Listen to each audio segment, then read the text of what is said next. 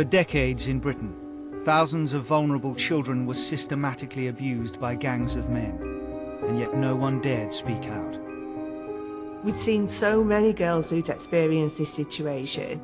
We got to the point where we thought somebody's going to have to die before anything is done. The victims were groomed, drugged, and raped. And this was happening across vast parts of the country. It was happening in Birmingham, it was happening in Bradford, it was happening in Manchester. How come every single aspect of the British establishment treated every single case that had cropped up as an isolated one-off case with no pattern whatsoever to any of the other cases that were so similar? But there was a pattern, one that risked reigniting delicate race relations, particularly in the north. This was white and Asian youths. The in the Northwest are intimately linked with the success of the British National Party in the last election. There was absolutely no getting away from the facts that the victims were young white children and that the offenders were older Pakistani men. Once those facts became understood by the powers that be, I think that they made a conscious decision that they weren't going to open up that box. It was allowed to slide away and it was buried. The abuse took place in plain sight, and yet professionals chose to look the other way and say nothing. As the years passed and the silence grew deafening, inflammatory voices stepped in. My blood has boiled. The system has failed us. They have not protected our daughters. Social services failed, educators failed, health professionals failed, police, prosecutors. There is none, there is no agency I can think of that has got this right. The trial has begun of 11 men accused of sexually abusing girls as young as 13. I don't care what faith or what colour somebody is. These are perpetrators, these are abusers. I don't care whether they damage community relations. Bring them to justice. This film uncovers why a wall of silence surrounded the on-street grooming of young girls. Why these children's cries for help were ignored again and again. And how over a decade, this pattern of monstrous sexual abuse was finally forced out into the open.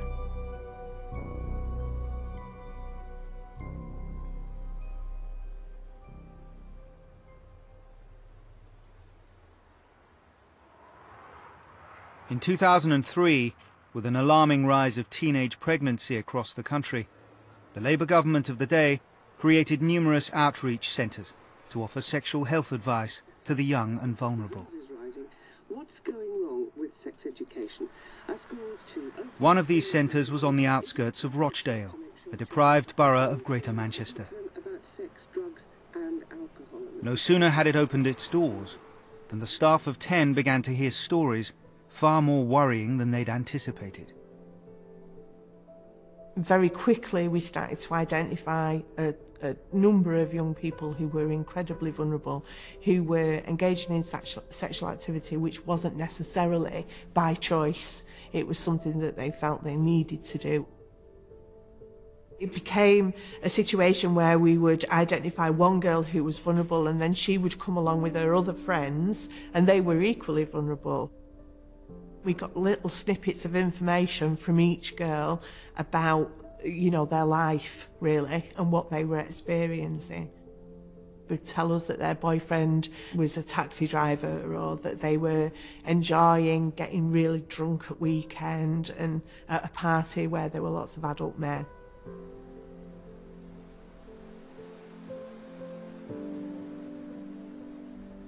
From the age of 12, I moved from care home to care home. You never actually got any love. Life was just crap all the time. When I first got involved, it was for fun. They were my friends. I could actually talk to them and they wouldn't judge me. They'd be giving me drink and drugs. I just thought, oh, free party, I don't mind. I was 13. Back then, drinking was this dead excited thing. So we'll have a drink, then we'll just go drive around up on the moors and stuff like that. It became like an everyday thing, not just like a weekend thing. I thought, oh, this is fun. You know, when you're younger, you hang around with someone a lot older, you think, like, you get like a little buzz out of it. I just threw myself out there and thought I was invincible. I wasn't scared of nothing or no one. She was full of life, but had run away from council care as many as 50 times. Today, Manchester Social Services expressed their shock at the death of 15-year-old Victoria Agoglia, but said such tragedies were not always preventable. Victoria died at the weekend from a suspected drugs overdose after disappearing from a children's home in Rochdale. Two men are being questioned in connection with her death. Victoria was probably 13 or 14 when I first met her. She'd found herself in a situation that was way beyond her control. She just wanted us to help her. She was really bright, um, funny, um, and engaging. Um, she made me want to work with her. I met her about three times. On the fourth occasion I was due to see her, I read in the news that she uh, that sh she was dead. Victoria had a long and troubled history with the police and social services, so her death threw up a warning flag within Greater Manchester Police. They suspected that it might be more than a simple drug overdose. DC Maggie Oliver, known for her sensitivity and delicate work with vulnerable and grieving families, was called in by her superiors. I saw a photo of this beautiful young girl um, and this letter that was heartbreaking. She was 13 years old and talking about having been abused by so many men that she couldn't count. I'm only 13. I've got the rest of my life ahead of me. She'd done things she was ashamed of, loved her family and felt she'd let them down. Slept with people older than me. Half of them I don't even know It was really a, a cry for help. I'm a slag and that's nothing to be proud of. And they treated me like shit. She died of a drugs overdose, but we knew that she had been abused on a massive scale. Myself and the two officers that I was working with, we were asked to undertake what was called at the time, a, and I quote, a scoping exercise, where we would really have um, free reign under the, the daily supervision of um, an, a detective inspector to go out and really find out whether we had a problem with children mm. being systematically groomed and sexually abused by gangs in the Greater Manchester area. That was the starting point for Operation Augusta. It was not the first time such stories had echoed around northern cities and towns. Rumours of the sexual abuse of young girls by gangs had circulated for years. Twelve months earlier in the West Yorkshire town of Keighley, a local Labour MP had been faced with more than just hearsay. Some seven mothers came to see me and they had genuine concerns about the way their daughters were being abused uh, by this gang. It had all started from having a boyfriend at school, a very handsome, attractive young man from the Pakistani community, who then handed them on to much older men. The mothers had ganged up together in order to get the police to be active on it. The police kept saying to them that due to the fact that they felt fairly sure that the girls had been consenting, uh, probably under the influence of drugs and drink, but consenting, uh, there was nothing they could do. Nearly all of these girls were 12 and 13. Whether it had been with consent or without consent, it was a criminal offence. I had no doubts in my own mind about it. I really wanted to help them, and I wanted it to stop. Within a couple of weeks of GMP starting the scoping exercise, Maggie Oliver and her two colleagues had gathered the names of 17 child victims and numerous alleged perpetrators. They knew that the vast majority of sexual abuse is committed by white men in the home. But here, something very different seemed to be taking place. The deeper down we started to dig, the, the more it it became absolutely abundantly clear that the children being targeted were similar kinds of children, young, white, from difficult backgrounds, not all in care, but had had difficult starts in life the makeup of the offenders was almost exclusively of Pakistani origin.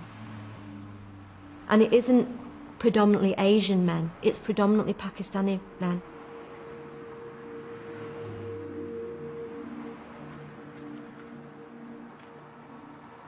Every weekend we used to go. It was a laugh and a joke. And you know, you used to get what you wanted out of it, because you used to get beer and your fags. Then they changed. And wanted more than just giving you free beer. You just said, I bought you beer, now let's have sex. Somebody else would come with a bottle of vodka, and then that person would expect the same as the person before. Then they bring another friend with another bottle of vodka and some more fags. And then he'd expect the same as what the person before. It just escalated from there. Just kept going more and more and more. I was 14.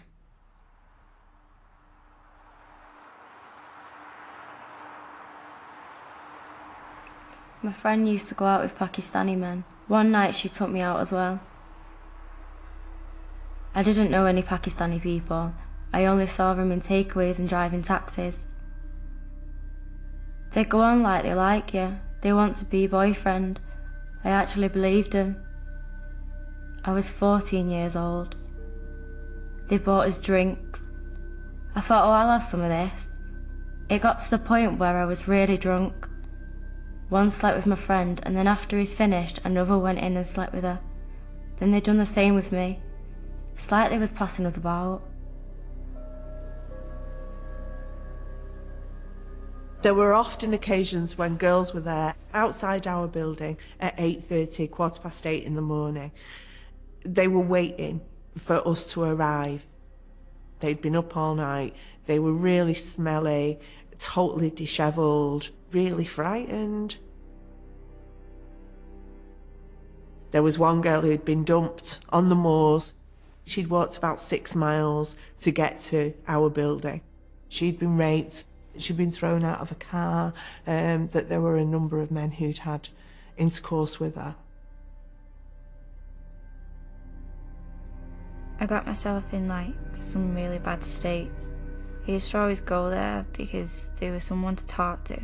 I used to tell him everything. I just felt safe there.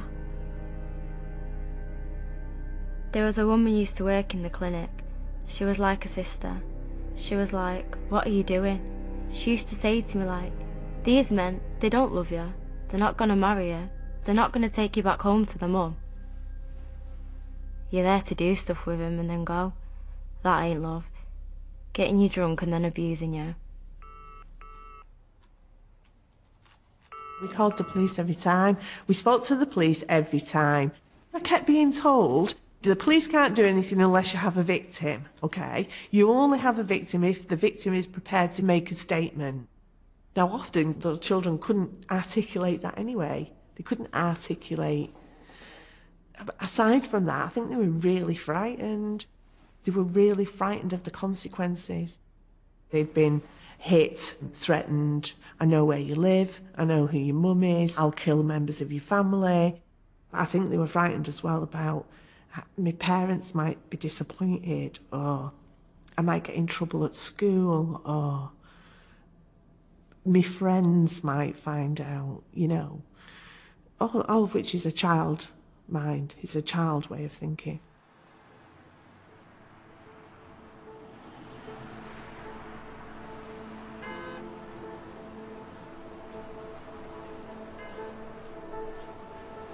I knew that this problem of on-street grooming was a real problem and it needed to be tackled.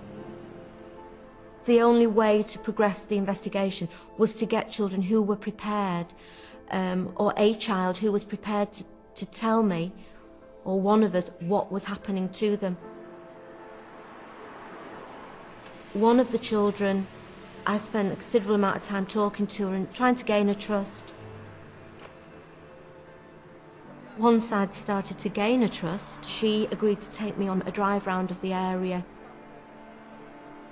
She was telling us that they were being taken to various premises along what we call in Manchester the Curry Mile.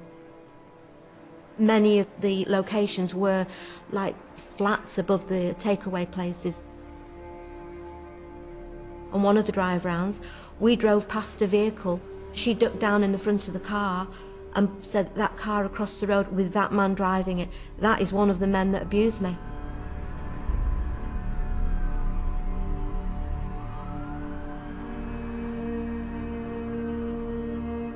Met taxi drivers through like the people in the kebab houses. Used to drive us to places where takeaway people were telling to take us. Then we meet another taxi driver, then another one, and another one. You just get out of one car and go in another car. Then they tell you to trust that taxi driver. Don't worry, trust him. It'll be alright. And then you go in that taxi driver's car. Then you do sex with him, and then you go on to another taxi driver's car.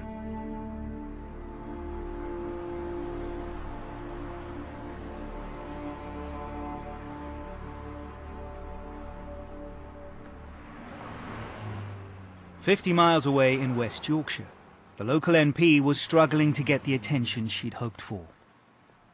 I probably went to see the police about once a month over a 12, 18 months period. Uh, and uh, they always had a new excuse for not doing anything. I followed it up with the head of social services at that time. And uh, she told me, well, uh, there's not a great deal we can do because these children are not in care. Uh, they're with their parents, and therefore it's the responsibility of the parents, not of the local authority. Church leaders from across West Yorkshire have signed a statement calling on voters to reject the British National Party at the local and European... With little interest from the authorities, Ann Cryer decided to appeal to community leaders who might be able to intervene. As this was a particularly sensitive issue, she turned to an intermediary. I approached a local Muslim Labour councillor I had him come in and listen to the story of these women. He was clearly very moved by their stories. I asked him, would he be prepared to take this list of young men uh, down to the mosque uh, after Friday prayers and, and see the elders. I'd wanted them to make it clear that in the view of the elders, they are behaving in a totally un-Islamic way. And it will bring shame on them, on their family, and on their religion if they continue to behave in this way. He went down, he saw them, he gave them the list. They all looked at these lists and they all agreed, yes, they knew all the lads, they knew the families, they knew where they lived, everything about them. And then they said, really, it's got nothing to do with us. End of story. I was horrified and disappointed. The BNP were becoming active and they were going to uh, have a field day on this. I didn't want that to happen. From then on, uh, I started to try to um, get the media involved. Despite a local petition asking voters to say no to racism, the BNP now has a toehold in Yorkshire, with more seats being contested in the forthcoming May elections. The key point of the press release was that the men who were doing this to these girls were, I think the word used was from the Asian community. I spoke to Ann Cryer's researcher. She told me that the scale of this was, was far greater than they'd been able to say in the, the initial press release. They'd identified over 30 men who were involved. The idea of young girls, 13, 14, being befriended by lads who weren't much older than them initially and then introduced to a wider and wider circle of friends, the idea that this was in some way a, a collective activity, that girls were being passed around men, um, I'd, I'd not encountered anything like that before. I remember so clearly the, the feeling of how, how on earth do you report a story that is a fantasy for the for the far right. It's, it's everything um, you could wish for if you're pushing a, a particular agenda. It's innocent white girls and it's evil, dark-skinned men. The government's failure to control asylum and immigration was a force for bad. Norfolk's fears were not without foundation. The BNP's vote in recent local elections had increased 300-fold in only three years, winning them seats on councils across northern towns. With a general election looming, immigration, race and asylum were key topics of the day. Yes, it is true that we need to control immigration. Yes, it is important we discuss it, but it's an issue that should be dealt with, not exploited. For my shame, I allowed my liberal fear about um, uh, giving succour and credence to the British National Party uh, to act as a brake on actually doing my job. Norfolk decided not to write an article. New in the job as the Times Northern correspondent, he turned his attention to less inflammatory issues across the region, unaware that the phenomenon wasn't limited to Keighley. We phoned the police, we phoned children's social care. They were stuck in that position of, we're the police, we do this, we're social services, we do this. You know, I started to feel as though I was facing a great big brick wall. I started to send letters rather than making a phone call I, uh, because the police can't ignore a letter. Um, they can ignore or not record a phone call, but if you send a letter, they can't ignore that. So I would send duplicate letters to the police, to social services. My child protection lead also had a copy of the information that I was sharing. So it had gone everywhere. You know, enough people had detail around an event I kept hoping that what at least somebody, one of those professionals, would respond or do or, eh, you know, help, really. Twelve months from opening its doors, the staff at CIT had lodged more than a dozen cases with police and social services. As far as they knew, no action had been taken. Yet the accounts of abuse continued.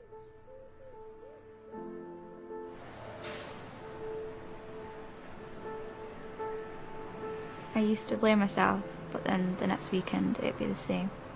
They'll be ringing you saying, I've not seen you for ages, I've missed you.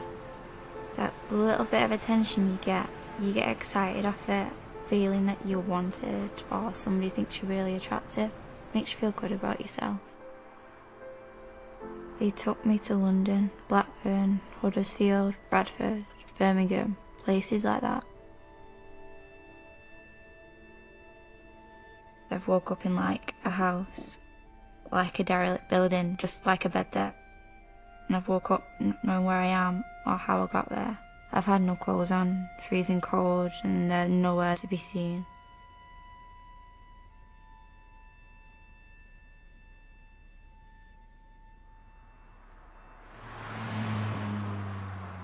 At Greater Manchester Police Headquarters, after six months of investigation, Maggie Oliver's scoping exercise was drawing to a close. She was getting ready to make her case to her superiors. I personally wrote the report. I started it with the photograph of Victoria and her letter. Anybody who read that report had to see that picture and had to read that letter.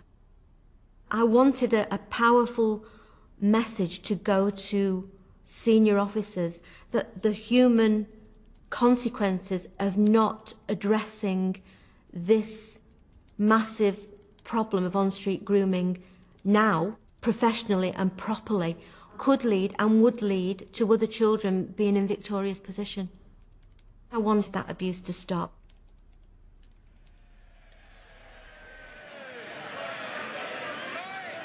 Mr Speaker, may I begin by... I had hoped that I would get on board comrades in the Labour Party, and many were. Many were genuinely sympathetic uh, to what I was talking about and uh, supported me in every way. Uh, but there was a small number who uh, either uh, very openly or perhaps whisper, whisper, you know, sort of were saying things that uh, uh, perhaps I was something of a racist. And that was very upsetting. I'm absolutely convinced it was a, a political correctitude gone mad. Uh, you know, th there was absolutely no reason for it. I was rocking the multicultural boat, but how do you get changes without talking about it? In May 2004, Maggie Oliver and her colleagues finished and presented the Augusta report. The Assistant Chief Constable accepted fully what we were saying. He didn't dispute it at all. He accepted that Greater Manchester Police Area had a problem with on-street grooming. We had word back that um, Greater Manchester Police fully accepted we had a problem and they were going to re resource Operation Augusta with a full major incident team. Um, and the team I was working with, we were over the moon. This problem was going to be addressed. Um, you know, I've, we've got one child that's died. I'm thinking we can address this, we can stop it growing. You know, we're going to do it.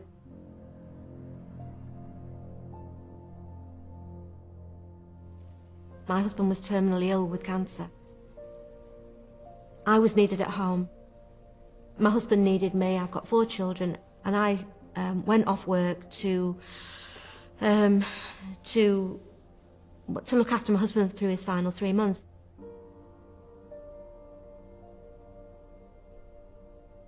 I kind of felt that I can walk away from this, I can go and concentrate on my family.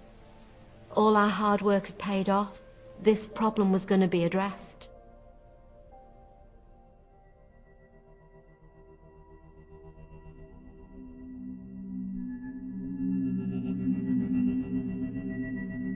British National Party is launching its election manifesto this lunchtime. The party, which wants an end to all immigration, is fielding more than 100 candidates, four times as many as at the 2001 election. This was all timed to coincide with St George's Day celebrations. At last year's European elections, the BNP received almost a million votes, proof they say that they're moving forward. In May 2005, the BNP stood in larger numbers than ever before in a UK general election. They called for withdrawal from the EU, an end to immigration and multiculturalism, and warned of the creeping power of Islam. Their message found support across northern cities and towns, particularly when they added the grooming of white working-class children to their campaign. Griffin made this announcement. He was coming to take on Ann Cryer as the uh, BNP candidate for Keighley to protect these vulnerable white girls. What Ann Cryer dismisses as grooming and what is really racist paedophilia has been going on in Keighley for at least 10 years. For most of that time, Ann Cryer's been in charge and she's turned a blind eye to the problem. All they wanted to do was to have confrontation and to uh, demonstrate how virtuous they, the BNP, were. They did nothing they did nothing to help and nothing to assist either the white girls or any other girl. Uh, it was just dreadful. This town should be on everybody's lips as the place where those paedophile drug rapes went on.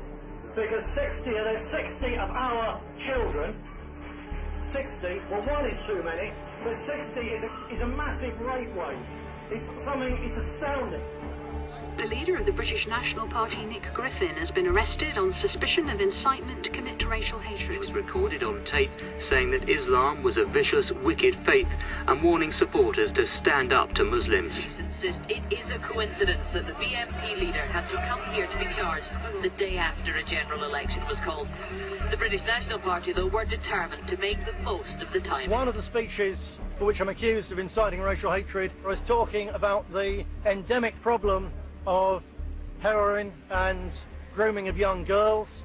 I think it's very important that these issues are got out and are discussed. I will keep on telling the truth. My colleagues in the British National Party will keep on telling the truth. And however many of us they jail, however long they jail us, we will keep on telling the truth until the truth prevails. I never thought he would win, but I felt that it was going to do a great deal of damage to race relations. Working class people on small estates were being indoctrinated by these racist lies. Knocking on a door near you. The British National Party. Branded extremists by their opponents, the party says it's gathering support nonetheless. The senior police officer in charge said to the parents of girls who are being groomed for illegal underage sex by Muslim paedophiles, he said, get used to it, there's nothing we can do. It's a fact of life.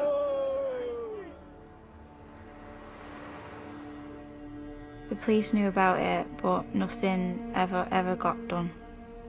You know, a few times the police have turned up at a house where we've all been drinking, and you know, I've been upset saying things have happened.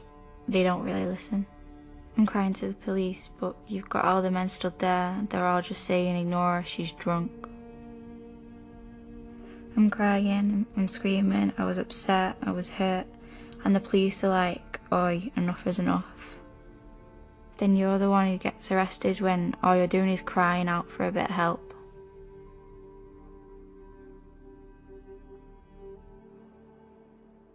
The BNP didn't win in Keighley or anywhere else across the country, but their vote increased fourfold.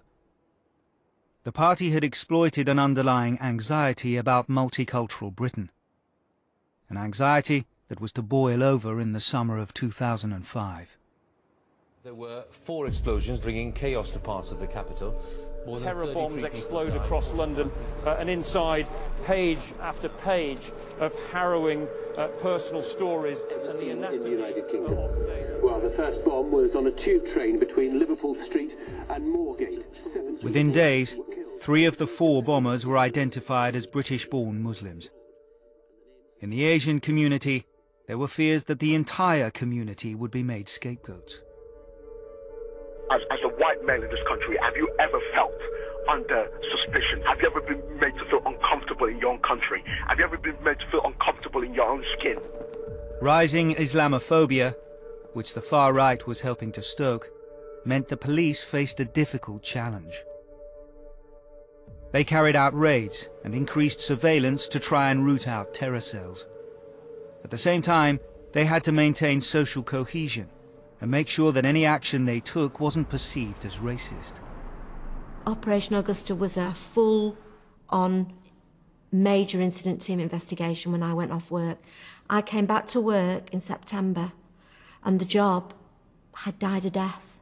It had just gone, fizzled out, shut down. I couldn't believe it. I was incredulous.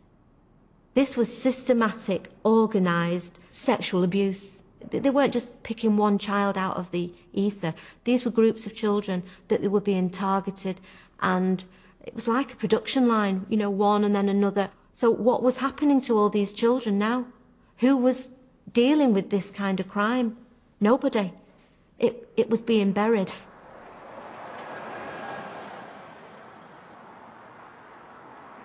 With the authorities' attention elsewhere, most of the world remained oblivious to the abuse. But rumblings about it continued and reached at least one prominent member of the local Pakistani community. It was the month of fasting, Ramadan. I'd gone to a friend's for prayers and breaking our fast. He was a taxi driver. He told me about uh, rumours that were going on of taxi drivers who were sharing uh, young teenage girls uh, in Rochdale. Uh, that's all he told me. I heard those rumours again and again, and I was trying to understand what were the implications if this had been going on. I'm a Muslim, proud British Muslim. I came up uh, and, and grew up in this country. There is nothing, absolutely nothing in my faith, Islam, that justifies uh, these type of despicable and evil crimes. I wanted to talk to people and try to find out what was going on. Nobody in the Pakistani community wanting to talk about these issues. Nobody seemed to want to help. Many people were coming to me and saying to me, oh yes, well this is what the BNP were doing in Bradford, this is what the BNP were doing in Keighley, this is all a far-right conspiracy about demonising minority communities. In, in my mind, it was our silence that was allowing the BNP to campaign on this issue.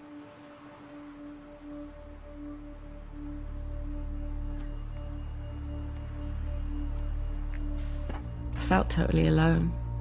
There was no one to help me, no one who would listen. So it just went on. One time I was at a house in Oldham. I was drinking, I was doing speed, and I was just getting off my trolley. I didn't think anything of it. I was just generally having a good time. When I came round, I didn't know where I was. I just couldn't move. I was on a single bed. There was a double bed next to me. There were just men coming in and out. It just seemed like one after another. They were all laughing and joking, pleasing themselves with my useless body that I couldn't move. It kept getting light and then dark. I could see what was going on. I could feel what was going on. There was a couple of guys that came in with another girl. She done it willingly. She just turned around and looked at me and went, You'll get used to it.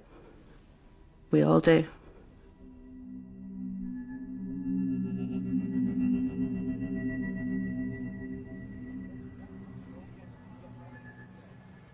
In August 2008, Greater Manchester Police received a call from a kebab shop. A drunk teenage girl had kicked off and was smashing the glass counter. Standard fare for a Friday night. Known as Girl A, her case would in time become a crucial step in bringing on-street grooming out into the open.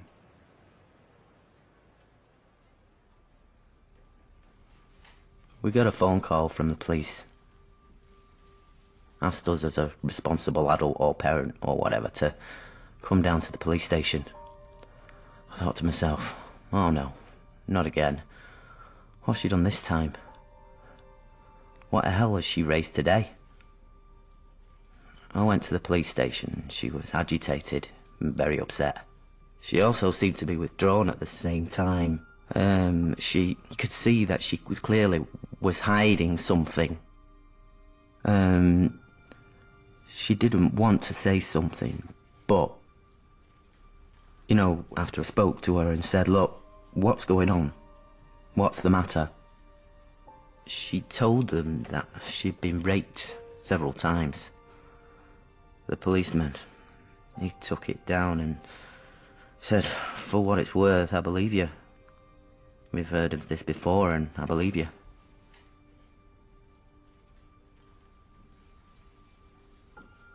I was totally, totally in shock. There's no other way to describe it. You're a father. You're supposed to look after your children. You know, it's your job, it's your duty to look after your children and protect them. No, I tried and, and I, I failed. Girl A was one of the dozens of girls the CIT team had identified as victims of abuse in the four years it had been open.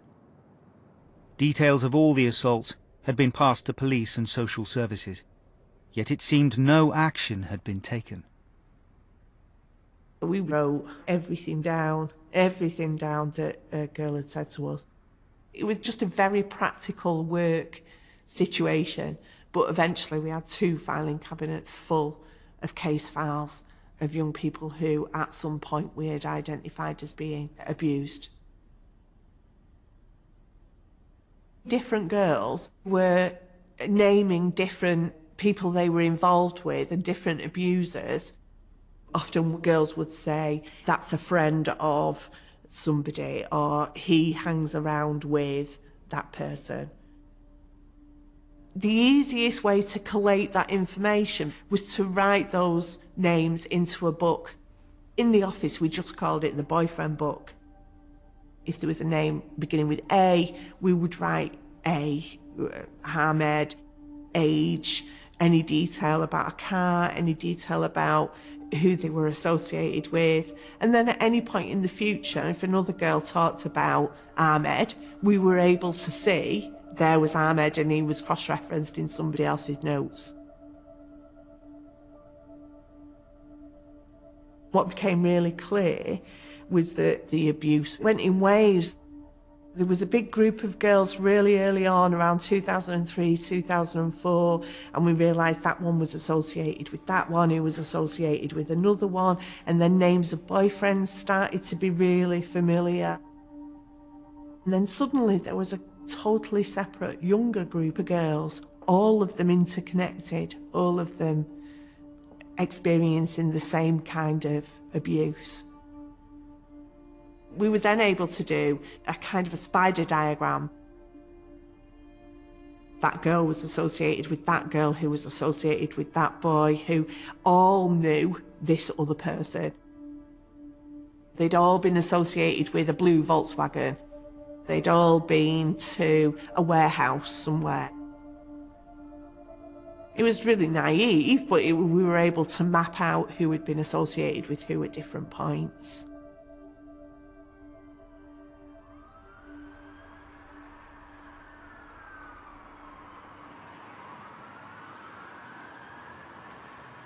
I put my faith and my trust in the police. And I said to my mates at the time, look, the police have arrested him. The police have charged him. Justice will take its course and, you know, basically and hopefully, they'll go to jail. A few months down the line, they decided that they weren't going to pursue it anymore. I knew that Knickers had been recovered, and I knew that DNA evidence had been recovered, and that basically the semen of, of one of these animals um, was in her knickers. It's a smoking gun. That's that's red-handed. Simple as that. And I don't think that any sane human being could disagree with me. Ooh, how can you know? how did semen get there? It was the Crown Prosecution Service who dropped it. They said that my daughter, she probably wouldn't be believed in court. She wasn't a credible witness. It's just ridiculous. You know, I know very well that there was an excellent case there. I was totally devastated. You, you can't be anything else. How? How on earth could this be allowed to happen? About three or four days after, a leaflet come through the door from the BNP. It, it said things that just made sense, really. I gave him a ring. Um, a gentleman come out, and you know, I mean, uh, I'd said what happened to my daughter, and um, they basically said to me right away, "Well, you know, we know about this." They were listening to me. No one else had listened to me, but they even knew that was on about, and they knew entirely about the whole problem. Everyone else had said there isn't a problem, or just denying it existed, or, oh, you can't say that, that's racist. I joined on the spot.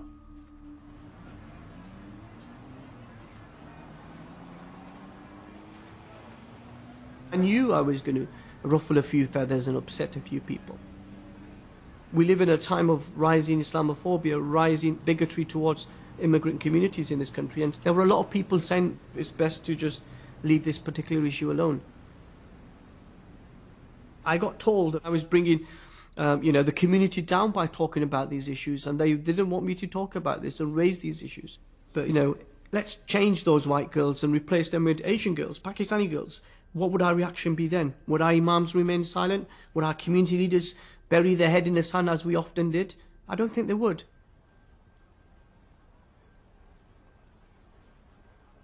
I live in a community, I have family in the community, and so for me it was a real struggle because I was somebody who championed the British Pakistani community, and suddenly I was then the person who was engaged in pointing the finger at my own community. I think all of us, whether in the Pakistani community, whether the authorities, the council, all turned a blind eye to it. Complete silence.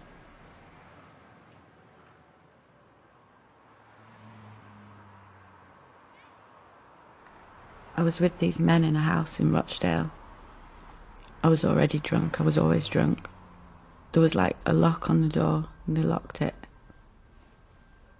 They were just laughing at me because I was throwing up over the side of the bed. They thought it was highly hilarious. There was a guy with a razor blade come up to me and said, I'm going to cut you. You want me to cut you? The other guy came up to me and said, just lay down, lay down.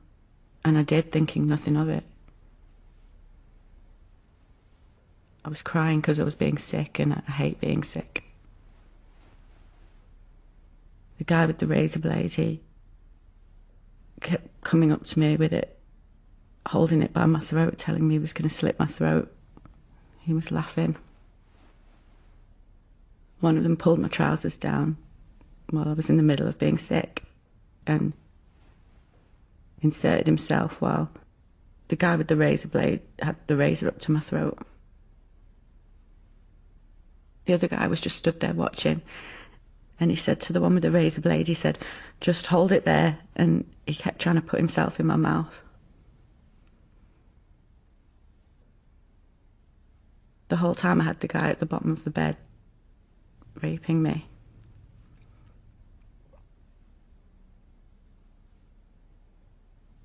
I actually thought I was going to get my throat slit.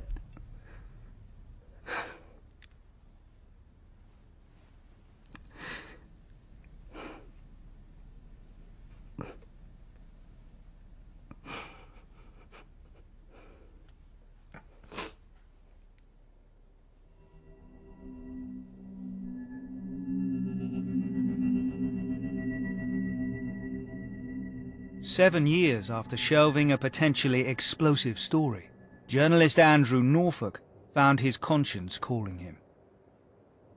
As the years went by, I had this very uncomfortable feeling I hadn't done my job.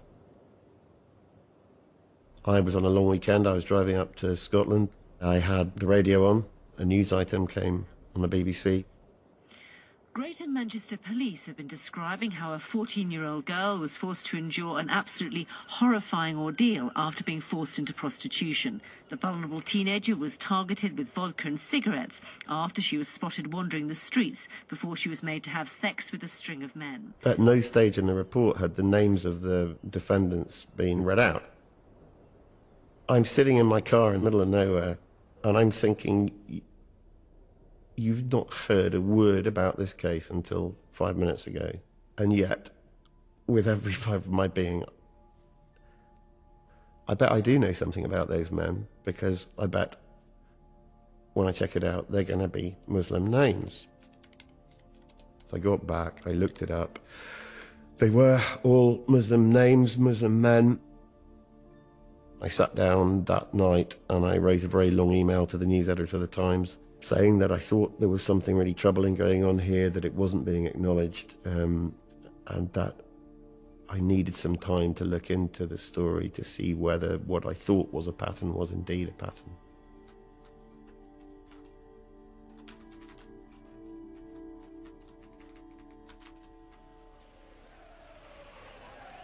As Andrew set to work, demonstrations were sweeping across the country, led by the emerging face of the far right the English Defence League.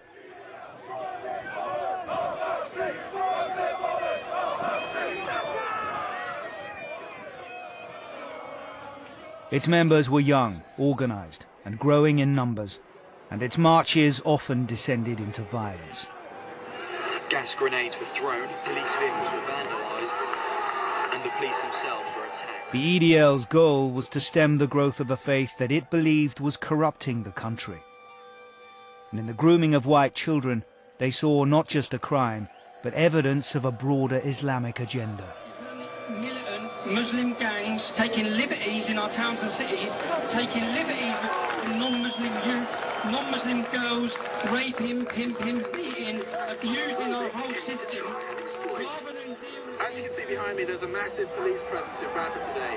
Around 300 members of the English Defence the squeamishness of the liberal establishment, and that includes the media, national politicians, police forces, social services, in actually confronting what was going on, left a void, and into that void marched the EDL to spread a completely poisoned, divisive agenda. It had become quite personal for me. There was a sense of actually reclaiming this story from the wrong agenda, the far right's agenda, uh, and putting it um, squarely uh, where it should have been all along. We used every bit of software we had to try to look back at every criminal court case that there'd been in recent years in which two or more men had been convicted of sexual offences against girls who were aged 12 to 15, where the initial point of contact had been in a public place shopping mall, outside a bus station, train station, city centre, outside school gates we needed to build that picture of all such cases because if we were going to say what um,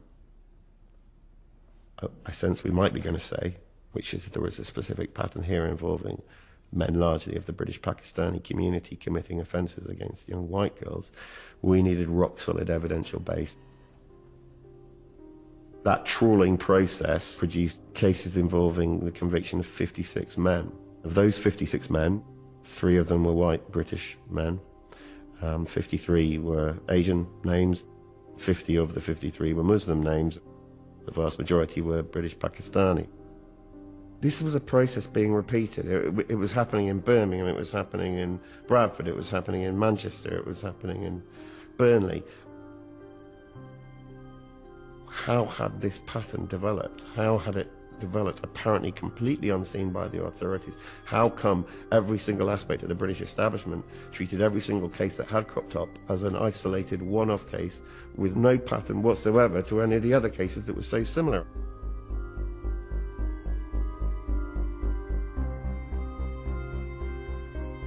The statistics were there. We needed to start talking to people about it and asking, what's going on here? What do you think? What are you doing about it? What are you not doing about it? We went to police forces, we approached local authorities, we went to specialist charities, government departments. Um, nobody would speak about this.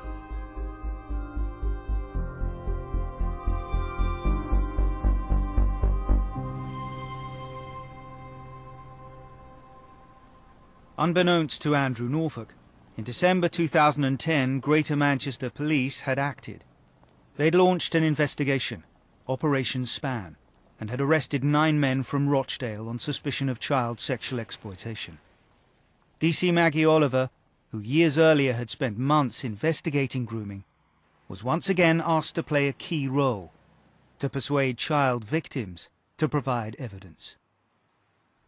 My first response was, well, thanks very much, but no thanks. I've been here before in Operation Augusta. I do not want to be in that position again. They produced various policy documents that I had never seen in my 16 years of service. Please look at these documents. This is what we intend to do, but we need you to, you know, to bring these kids on board.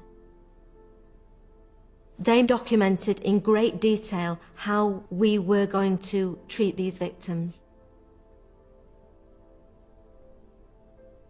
It was completely different from Augusta. That would never happen again. It was recognised that we'd failed and it shouldn't, that shouldn't have happened. I thought, well, maybe Greater Manchester Police have learnt from what they failed to do back in 2004 and 5. Maybe this is a chance to address this, um, this crime, this on-street grooming once and for all. And eventually I agreed that I would do my best. Four months into his investigation, and after countless dead ends, Andrew Norfolk finally found someone willing to talk to him on the record. A senior police officer heading a major investigation.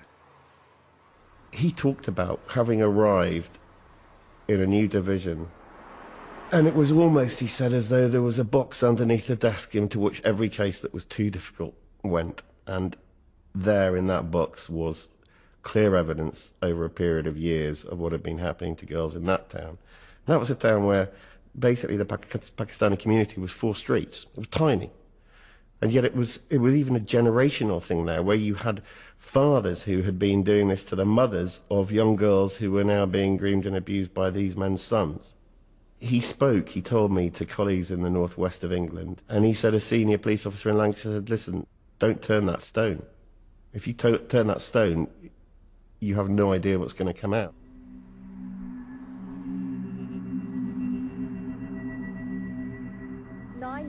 Arrested just before Christmas over allegations of the sexual exploitation of teenage girls here in Rochdale. We understand that all the men are Asian, that they're aged between 20 and 40. We also understand that all the girls concerned are white. Now, police are saying that these arrests were made on suspicion of rape. Of As the investigation continued, Maggie Oliver was charged with winning the trust of two sisters with a long history of abuse. Both had had repeated contacts with the police and social services over the years. She quickly discovered their abuse was not only well known, but well documented. From reading social services records, it was abundantly clear that mum had been asking for help from social services over a long period of time. These children were on the Child Protection Register to be protected. The case conference notes themselves documented what mum was saying was happening to the children at the hands of these men. There were comments informing social workers that the children were being threatened at gunpoint. Somebody threatened to kill them if they went to the police. Mum, she got really irate, stood up and shouted, you know, what are you doing about these packies? Now, that's not my language, that's her language. Um, but they saw fit to throw her out of the meeting and at the same time did nothing about the abuse that she suspected was happening. The reality was she was telling them the truth. As part of that reading, it became apparent to me that there was another team um, uh, employed by uh, Rochdale Social Services called Crisis Intervention Team, and they were the team that the children were visiting regularly. Until that time, nobody had been aware that they'd existed. We needed those files. The Crisis Intervention Team handed the police thousands of documents, detailing over a hundred assaults from the eight years they'd been open.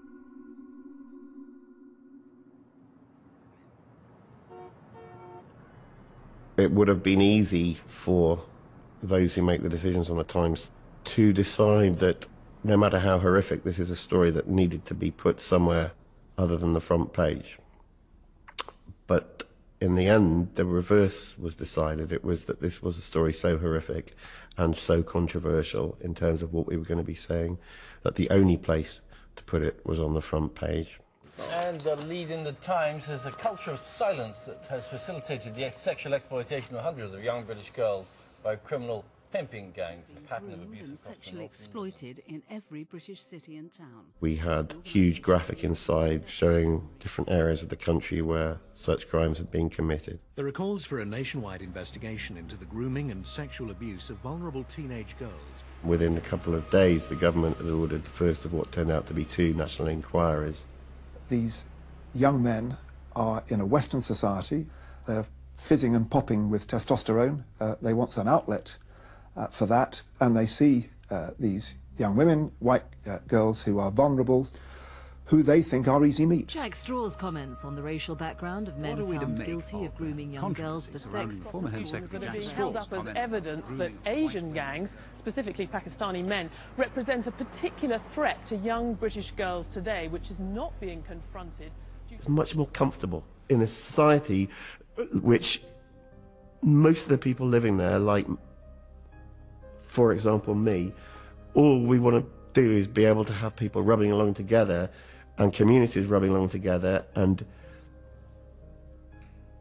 raising an issue like this doesn't make it easy because it, it, it asks hard questions. If you really want sex, there's prostitutes who are doing it. Why, why can't I get vulnerable girls? They haven't got no morals, they're monsters. It's just, it's just terrible. If you're like for Pakistani or something like that, you should be ashamed. Andrew had the statistics this was hard facts about court cases, people who had been convicted of crimes, not people who were accused of crimes, but people convicted. The evidence was compelling. There is a very small minority of people within the Pakistani community who are engaged in the phenomena of on-street gang grooming. There's an overrepresentation of British Pakistanis uh, in, the, in those types of crimes, and we've got to confront it. I, I did a piece for the Times. I wanted a reaction.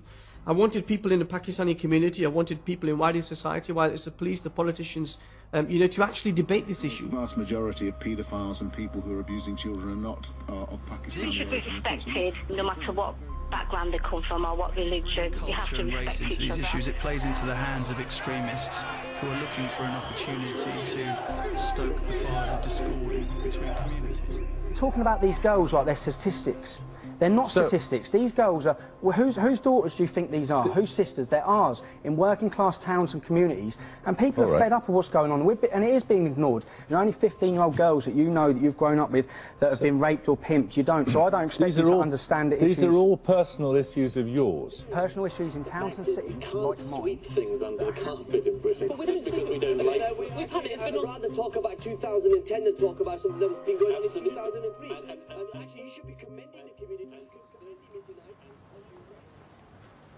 In May 2011, a new chief prosecutor for the northwest of England took office. He was Muslim, British Pakistani, and had a track record of taking on culturally sensitive cases. Having read the Times expose, he asked his staff if there were any potential grooming cases. Among the files he was presented was one on Girl A, the teenager from the takeaway two years earlier, whom the Crown prosecution had deemed an unreliable witness. thing that struck me most are still children. You know i have children of my own and just because you're 14 or 15 you can't make informed choices. Uh, and the perpetrators were in their 40s 50s you know my age uh, who clearly knew better. When i read the prosecutor's advice to the officers in the earlier investigation things like she has made a choice about her life you know she uh, has agreed to be uh, in effect a prostitute uh, for these men. Everything about it shocked me to be blunt because what groomers do what perpetrators do is manipulate. And the fact that she was chaotic and troubled uh, was actually the reason why she was targeted because the perpetrator knew that nobody would believe her I was absolutely certain in my mind that the decision taken in this case was wrong. That it wasn't just unreasonable, which is the test, uh, the legal test. It was wrong. And if it was wrong, to maintain public confidence, I had to reverse that decision, and so I did. Nazir Afzal instructed Greater Manchester Police to build a case around Girl A. Officers began by focusing on other girls abused by the same men, and invited Sara Rowbotham and her team to police headquarters to help. The room was set up with uh, images of victims down one side of the room and images of perpetrators down the other side of the room. Me and my staff had, had not really ever seen the perpetrators, and yet there they were, the nicknames associated with an image. And of course, we knew the crimes that they'd committed. We knew what they'd done. There is no one size fits all when it comes to a perpetrator. However, all of these men either worked in the nighttime economy, such as taxi drivers, takeaway, restaurants, or they were solid members of the community, pretty much all employed, well known to each other. They all had marriages, uh, they were all in relationships, many of them had children, outwardly were family men, they worked hard, they worked long hours, and they broke that up with the sexual abuse of children, which uh, to them was um, downtime. Most of the victims were traumatized from years of abuse by numerous men. They knew their accounts had been passed to authorities, but been met with total silence. Now, the police were asking them to cooperate and to drag up their painful pasts. The police come round. They was asking me a lot of difficult questions. I remember thinking, why are they asking me this now? Why couldn't they ask me years ago? I'd been arrested with Asians. My dad's reported me missing. Why did they never ask me questions or anything? Back then they could have had loads of evidence. They could have got a file together. I stopped and said, they can't do it and just walked. I thought, if you didn't help me in the past, why am I going to help you now? There was a lot of pressure from the police. It was like, you'll help us so much. I trusted them. Gave them the names of the people that had done stuff to me, and I told them a lot about me. It was like a sigh of relief, like thinking at least something's going to happen now. At first I said no. I didn't want to talk to the police. They just kept saying, look, it's not your fault, it's not your fault. In the end, I started a load of interviews. I told the police about when I got locked in the flat, the razor blade incident. I gave the police names, any clothes that I could remember that I'd worn. I gave like as much detail as I possibly could. In the end, I'd done something like 29 hours worth of interviews.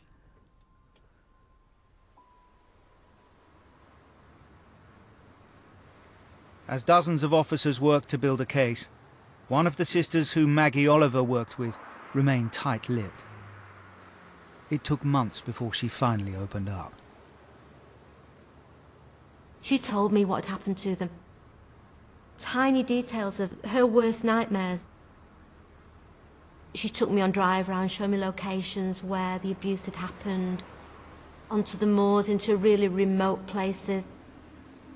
There was no houses around, there were no lights. Children up there would not be seen by anybody. To think of being up there, drunk, on your own, with a, a man who's three times your age, was actually really scary.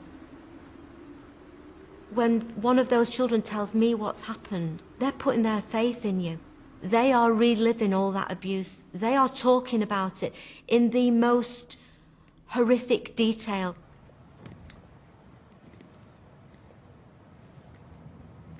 I was 14 when the abuse started. We were on between three and four years. I was raped by about 50 um, men. Maybe more, I've lost count. It happened that many times. I felt ashamed that I'd had sex with so many older men. Disgusted in myself, really. I kept it in a box, you know, locked away in my head. To open that box and tell Maggie everything that happened was really hard. Her account was added to what was countless hours of evidence from other victims. As prosecutors poured through multiple ID parades, drive-throughs and physical evidence, it became clear how difficult the case would be to win, and that not all the victims could be called as witnesses. I was told at four o'clock on a Friday afternoon that the police were no longer, and I quote, going to use this girl. And I was in, I couldn't believe it. I had put my heart and soul into bringing these children on board on absolute guarantees and assurances that there would not be a repeat of what happened in Operation Augusta. And here I was, back in the same place. But on this occasion, it wasn't just one interview that this child had given. It was six months of her life. I felt it was immoral, inhuman, unprofessional. I couldn't believe it.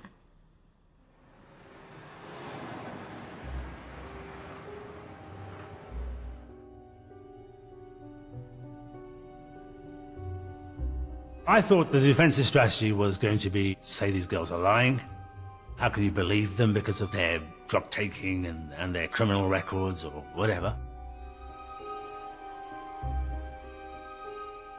I had to select the strongest victims to ensure that the one opportunity that we had to try this case was taken. I knew that they were going to be cross-examined in the courtroom up to 11 times, each of them. Being cross-examined once uh, is extremely traumatic, and 11 times about some of the most intimate things that can happen to you, or have happened to you. Uh, I knew that they had to be really strong. I had to make a judgment about how many of them we were going to rely upon. Six girls were chosen to testify. Their graphic accounts of assault, under the noses of the authorities, would finally push the grooming story onto the front pages.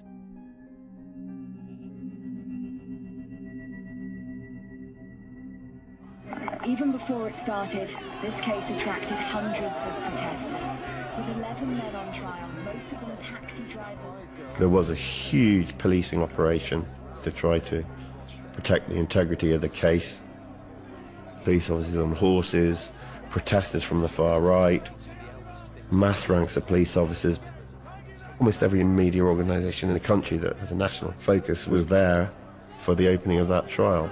Eleven men have gone on trial charged with grooming and sexually exploiting girls as young as 13. The Asian men, described as being predatory sex offenders. These are some of the 11 men who are facing trial at Liverpool Crown Court. All the defendants are of Asian heritage and aged between 22 and 59. They face a total of 22 counts, including sexual assault, rape and trafficking. They're said to have passed girls between themselves, then pass them on to friends and associates. And if they think it's okay in Pakistan, then go back to Pakistan. If it's okay in Albania, go back to Albania. But don't do it here in our country.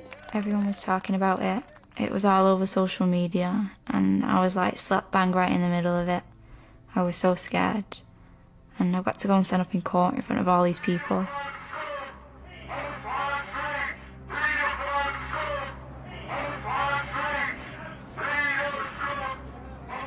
It was hard. I was young. I just had a kid. I had no family to come with me. I had my daughter in a car seat in the court. One of the ushers looked after my daughter, so it was literally me in the middle of court on my own. As I was telling what happened to Girl A, I was just reliving the stories that I'd been through as well. As I was telling it, I was kind of breaking down and I started crying in court. And I had the whole of the jury sat there crying with me.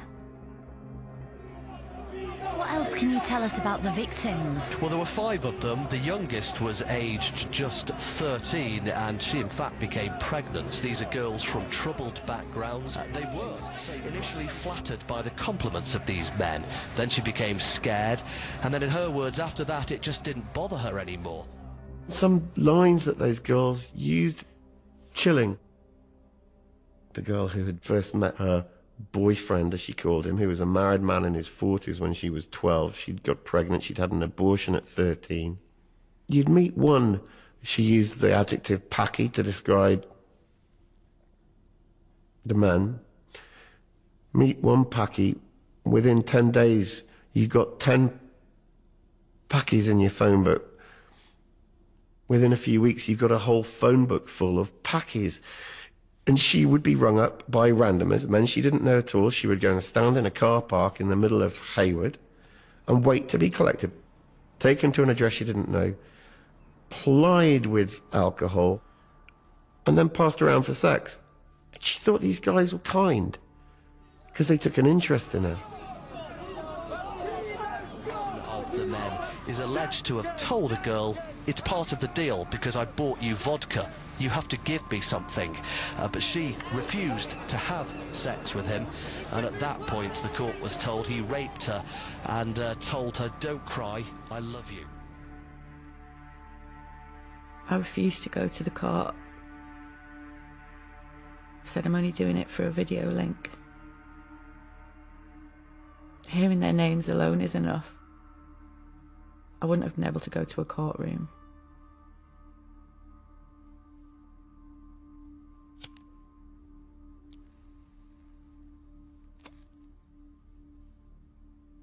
When it came to getting asked questions by the barristers, that was when I didn't want to be there. The names that they called me were worse than I was pre warned. I was called a slut, that I whored myself out for um, £10 per session. And they'd keep digging. I was screaming at them, crying tears, and then they'd carry on.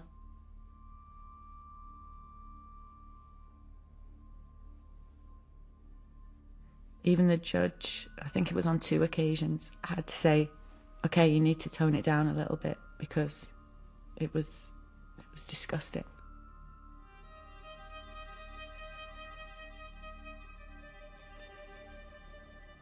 I certainly became aware of the cross-examination of the main ringleader.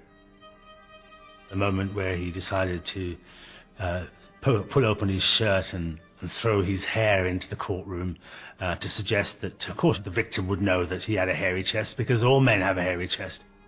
Then he moved on to uh, abuse white people generally to say that uh, the reason why he had taken her in uh, and uh, and in effect that she was accompanying him is because the white communities of this country had let her down. You, the white communities of this country, have neglected these girls. Is it no wonder that they come to us?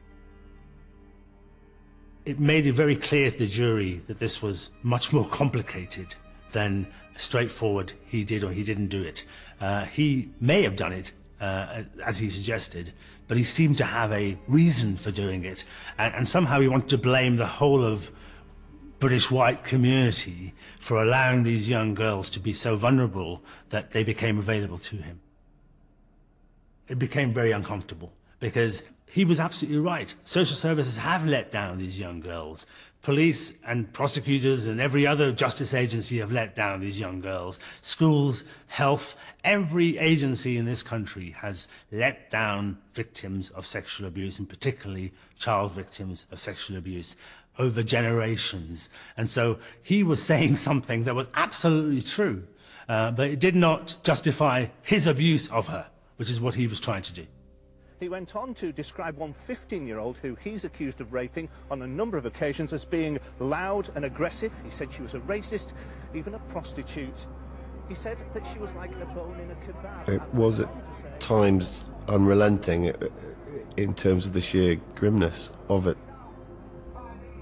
These were treated as consenting kids who were choosing to make money or have a bit of fun, as in, you know, somewhere to stay warm, somewhere to have free food, free booze, choosing this lifestyle, and, you know,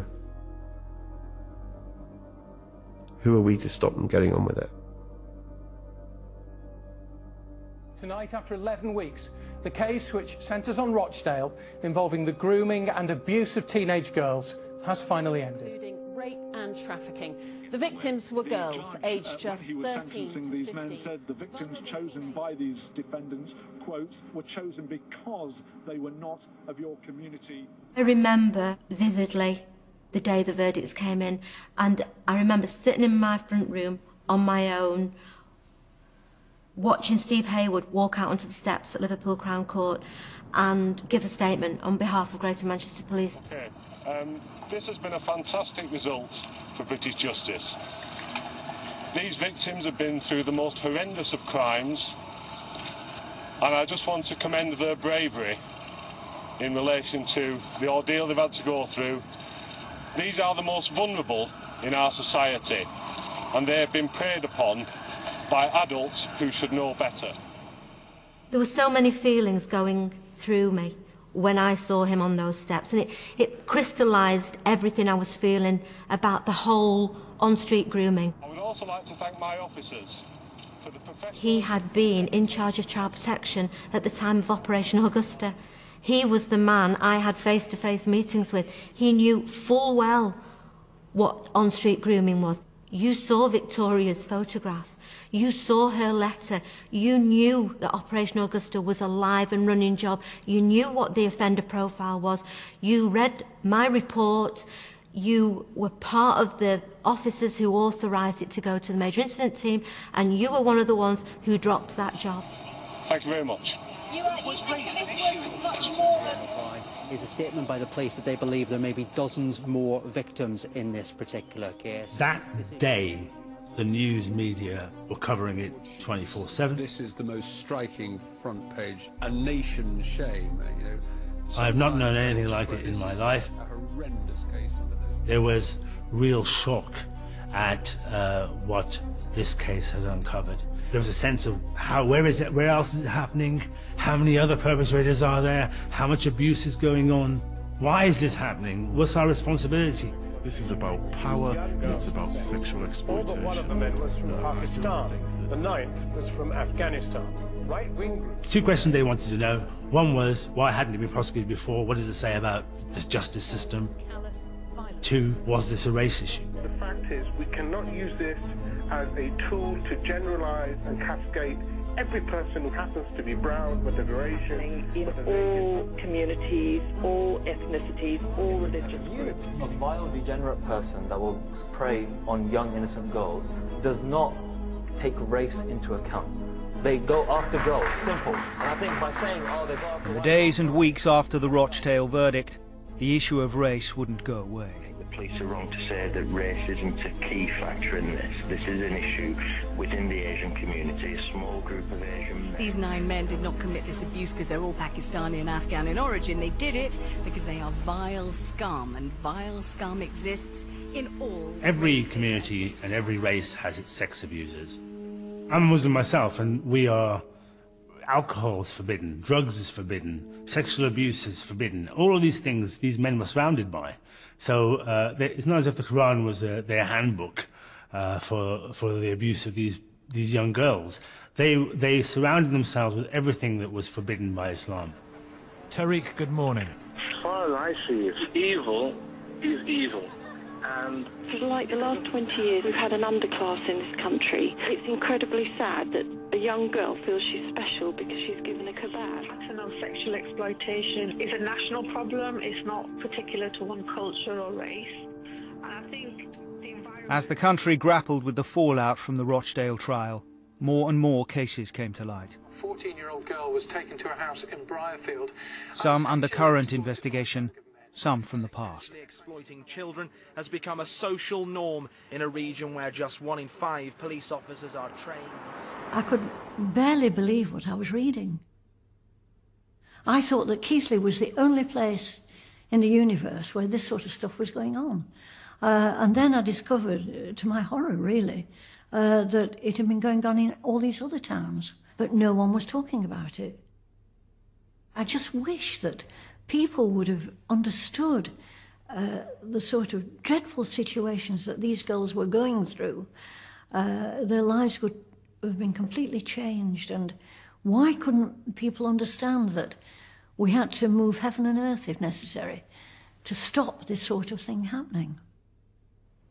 Various inquiries were already underway to investigate not just Rochdale and Greater Manchester, but the national picture. In dealing with vulnerable victims, we've long had operations against things like child prostitution, Operation Messenger. It's not fair to say we Um, did nothing. We did do something. We perhaps didn't do as, as effectively as we would have liked to, and that's is the lack of sharing of data across services. As the inquiries tried to understand how and why so many children had been let down, Maggie Oliver began going through her files on Operation Span. She was shocked to find that some of the evidence she managed to gather from one of the sisters appeared to be missing from the police database. When one child tells the police that she has been raped by in excess of 30 men, and Greater Manchester Police choose not to make an official record of any of those allegations, that is out and out neglect. That is your basic role as a police officer, that you gather the evidence. You don't make a snap judgment whether you agree with somebody or you don't and decide not to record it. It is your job as a police officer to record it. There is no record that that child disclosed those offences. Now, the scary thing, quite apart from the consequences for her, the other consequence of that is that those men might be abusing other children. Social workers, police and prosecutors have been criticised for missing opportunities to stop the abuse of young girls in Rochdale. As various reviews started to publish their findings, the official government inquiry was nearing the end of its six-month investigation. continued grooming and rape of a number of girls. It's believed there were around 50 of them, and some may have been as young as 10. Committee members had heard from senior executives and managers. Now they called on Sara Rowbotham, hoping that someone with 10 years on the front line would be able to clarify the scale of the problem and why it had been ignored for so long. and I'm quoting for the report, overall child welfare organisations missed opportunities to provide a comprehensive, coordinated and timely response. Yeah, I, you agree with that? Absolutely, I, I, would absolutely agree with that.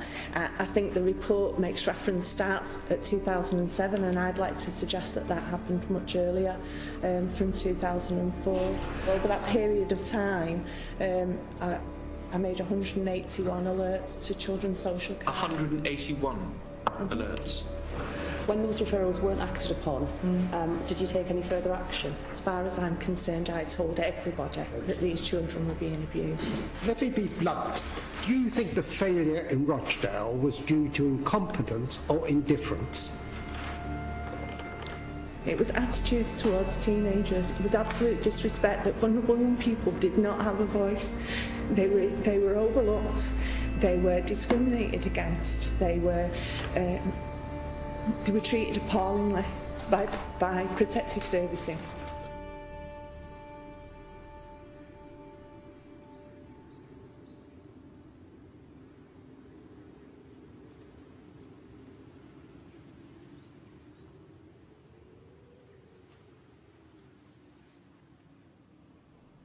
If Greater Manchester Police had followed what we knew to be happening um, in relation to Operation Augusta back in 2004 and 5, I know 100% that this kind of crime would not have escalated to the proportions that we now see.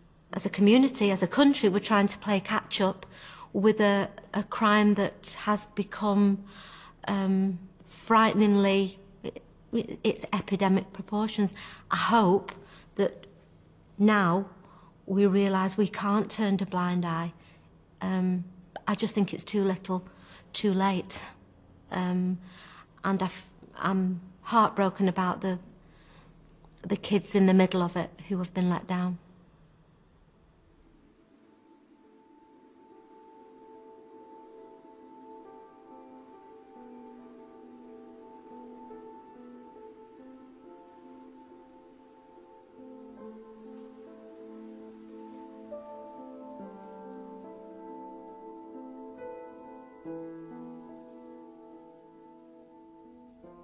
Yes, people got stuff wrong in the past. Uh, people weren't prosecuted. They should have been. Victims weren't given the level of support they should have been.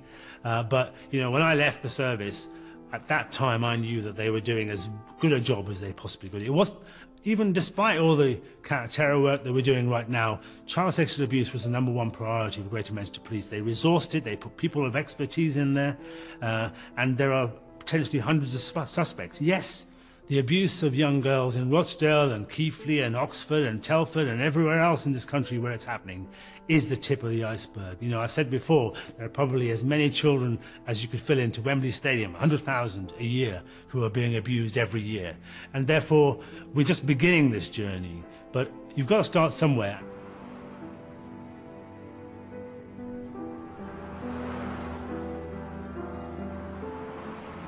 I wish it had never happened. I wish I had a childhood.